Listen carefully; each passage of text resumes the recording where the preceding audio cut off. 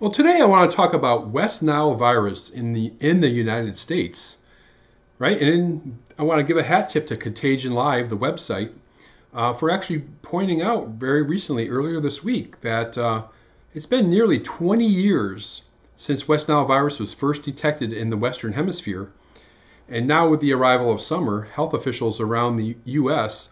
are reporting the first West Nile activity of the 2019 season. And just want to add one little number that we're going to be needing later in the show. In 2018, there were about 2,500 reported cases of West Nile virus in the U.S., um, a little bit higher than uh, some of the more recent summer seasons. But yeah, so it's been almost to the month uh, 20 years since West Nile virus was first detected in the U.S. Just a little bit of background on and a little history on West Nile virus. It was first isolated from a febrile patient from the West Nile district of northern Uganda, 1937. Now, the patient presented in the setting of a large epidemiologic study of yellow fever virus. However, inoculations of the mice with the patient's serum resulted in the isolation of a virus with physical and pathologic properties similar to those of two flaviviruses, St. Louis encephalitis virus and Japanese B encephalitis virus, and sharing immunological relationships with these viruses. Although the index patient presented with fever only, these first studies with the newly discovered virus indicated that pathology primarily involved the central nervous system, suggesting its neurotropic nature.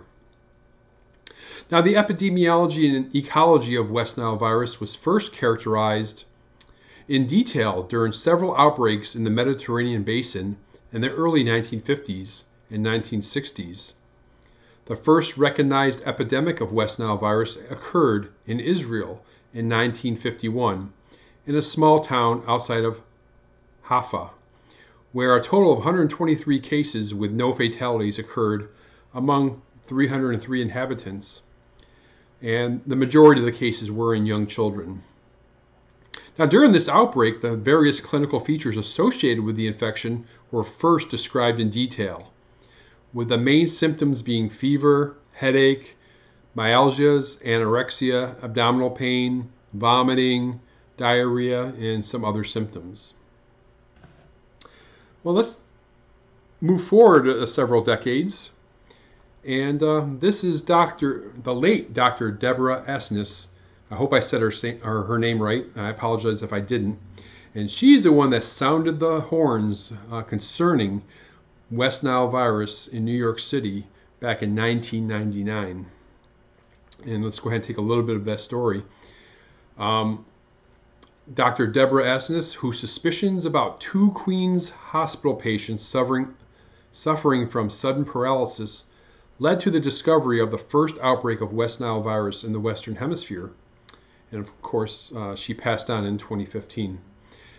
On August 23, 1999, a Monday, Dr. Asnis, an infectious disease specialist, contacted Marcelle Layton, the chief epidemiologist at the New York City Health Department, reporting that two of her patients at Flushing Hospital Medical Center were displaying similar puzzling symptoms. Asnis did something other doctors might not have bothered to do, uh, according to Elinor Levy and Mark Fischetti, who wrote in the book The New Killer Diseases How the Alarming Evolution of Germs Threaten Us All. One of the worst problems with our disease detection system, they added, is that doctors never report cases of strange symptoms either because they are unsure of the disease they are facing, they're ignorant of the reporting requirement, or they simply never get around to it. Deborah Asnis was highly conscientious. Her two, her two male patients, 160 and the other 75, had high fevers. They had lost control of their arms and legs, seemed disoriented, and registered excess white, white blood cells in the spinal fluid. Initial tests suggested viral encephalitis, uh, Guillain-Barré syndrome, meningitis, or even botulism. Dr. Layton urged Dr. Asnis to send blood and spinal fluid samples to the State Health Department's laboratory in Albany for further testing. By Friday, two more cases had developed, and by Sunday, Flushing and other Queens hospitals had identified eight cases. All the patients shared two traits. They lived within a few square miles of one another, and in the evening, they were either avid gardeners or backyard loungers. The Federal Centers for Disease Control and Prevention was enlisted, and on September 3rd, the culprit was identified as St. Louis encephalitis.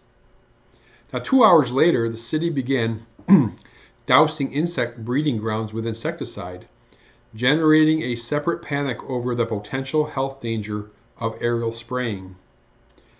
On September 27, 1999, Further tests by Dr. Duane Gubler, a CDC expert on arboviruses, coupled with earlier suspicious deaths of birds in the Bronx, prompted the federal government to revise its diagnosis to West Nile virus.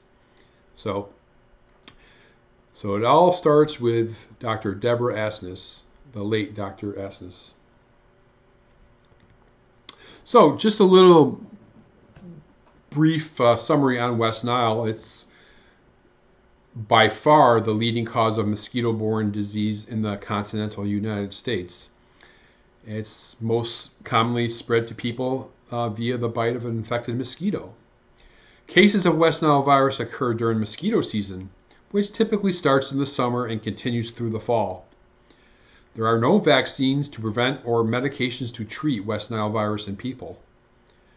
Fortunately, most people infected with West Nile do not feel sick about one in five people who are infected develop fever and other symptoms. And about one out of 150 infected people develop a serious, sometimes fatal illness. Well, let's see what it's been like in the United States um, since this discovery.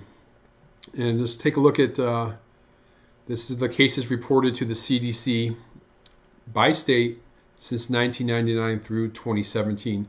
And just to take a look at 1999, we can see that New York had 62 cases, the only state to report any that first year. But things have changed, right? So if we look at the total since 1999 through 2017, we got over 48,000 uh, West Nile virus cases in humans. Add the if we go back a few pages, the 2,500 cases reported in 2018, that's more than 50,000 West Nile virus cases uh, reported since in the past 20 odd years.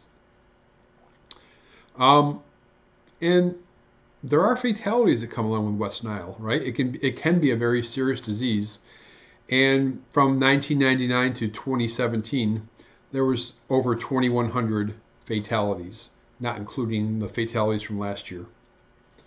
So yeah, West Nile virus, a big deal, right? It was um, it was ranked number three as the um, uh, important, the third most important zoonotic infection in the United States, and you can see that on a video I did several days ago. And let me go ahead and close it out with what's going on today.